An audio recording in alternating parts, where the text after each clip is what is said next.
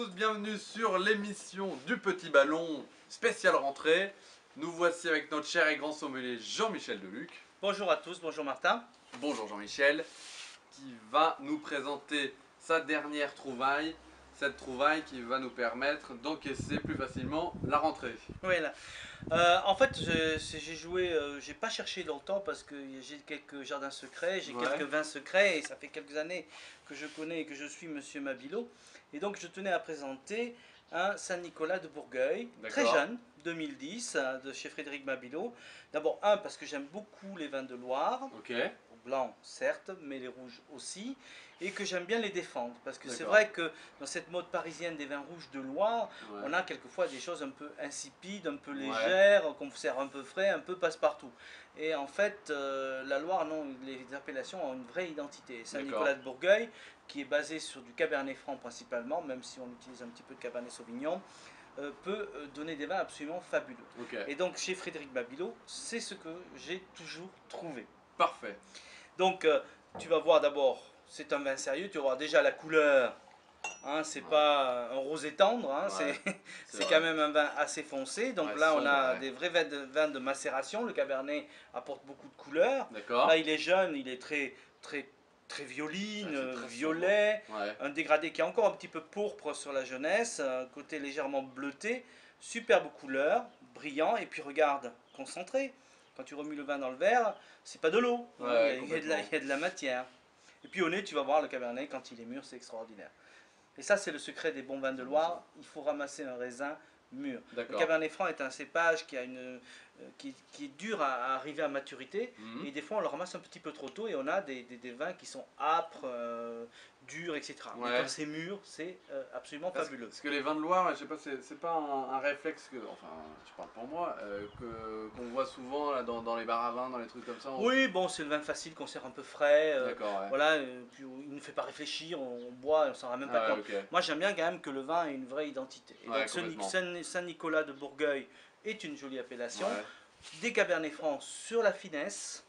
Et tu vois, rien sent très déjà, tu as ce, ce- ce cassis mûr, myrtille. Ouais, puissant, légèrement prunelle aussi, euh, assez puissant, séveuse, charnu. non Tu sais, Prunelle, prunelle, c'est quoi? Prunelle, c'est une petite prune euh, sauvage. Ah ouais. Qu'on ne mange pas parce qu'elle est un peu Ok. dure, il faut attendre vraiment les premières gelées pour pouvoir la croquer. Et euh, ça a surtout un côté un peu, un peu tannique que j'aime bien, un peu frais. Voilà, un peu provocateur, j'aime bien aussi. Donc là, tu as un vin très mûr, un cabernet franc très Mm. mûr, et tu sens derrière quand même des, des notes de réglisse, de poivre, Mmh, c'est de vrai, menthe, euh, beaucoup de fraîcheur, un très joli vin. Et puis à, à l'aération, tu, tu confirmes cette maturité de fruits. On n'est pas encore sur la confiture, ça reste des fruits frais, Ouais. mais ensoleillés. Ouais. Voilà, donc un raisin mûr. Des notes légèrement fumées, un peu tabac blond. Voilà. Bon, hein. En bouche, c'est du velours. C'est rond, c'est charnu, C'est bon. c'est bon. ça peut être la conclusion directe. mais c'est vrai que tu vois, ça se soyeux, mais c'est pas mou.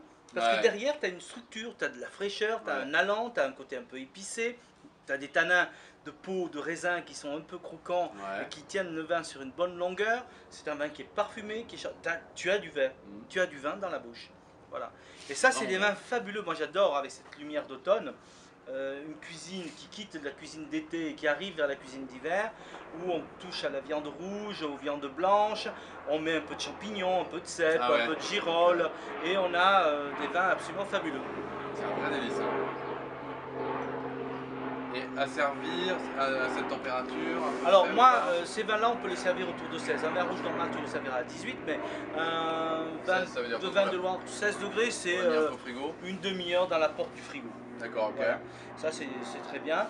Euh, on peut le boire jeune, 2010, mais tu sens quand même qu'il y a de la sève, qu'il y a de la profondeur qui permettent aussi de le garder quelques mois. D'accord, Donc c'est un vin qui peut jouer ses, ses deux rôles. Aujourd'hui sur des viandes un peu, hein. un peu saignantes, et puis dans quelques mois sur des viandes en sauce. Voilà. Ouais. Et c'est un vin euh, qu'on va déguster avec qui? Ou dans quelle occasion? Euh, alors, si c'est un vin de bon jardin secret, comme je dis, euh, bien que M. Babilo soit quand même connu et c'est un, un des meilleurs propriétaires de Saint-Nicolas de Bourgueil, Moi j'aime bien euh, avec des gens qui détestent les vins de Loire. D'accord. Voilà, tout simplement parce que pour leur prouver que non, ils ont tort. Ils ont certainement goûté de très mauvais vins de Loire qui leur a laissé de mauvais souvenirs. Mais ça, ça permet de réhabiliter euh, cette, cette région qui fait des vins absolument fabuleux, des grands vins blancs certes, mais aussi quelques grands vins rouges, Saint-Nicolas, présentement, Chinon, euh, Bourgueil, Saumur, Champigny. Voilà.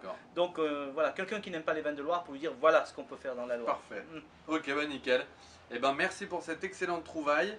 J'espère que la rentrée sera plus facile pour vous euh, grâce au vin de Frédéric Mabillot les Rouillères et aussi au Côte du Rhône de Saint-Côme. Voilà, deux vins que j'adore en automne. Mm.